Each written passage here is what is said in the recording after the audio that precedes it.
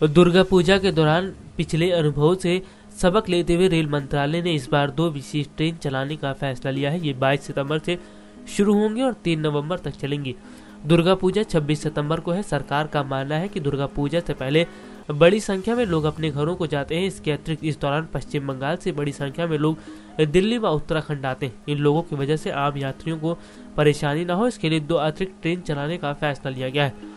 उत्तर railway, Howrah, Anand Vihar terminal के बीच सुविधा एक्सप्रेस रोज़ाना चलाने के साथ साथ उत्तराखंड में स्थित रामनगर हावड़ा रूट पर साप्ताहिक सेवा शुरू करने जा रहा है। एक अधिकारी का कहना है कि इस दौरान दिल्ली के साथ उत्तराखंड में जिम कॉर्बेट पार्क में टूरिस्टों की आवाजाही ज़्यादा देखी गई है। रामनगर यहाँ से 40 किलोमीटर दूर है।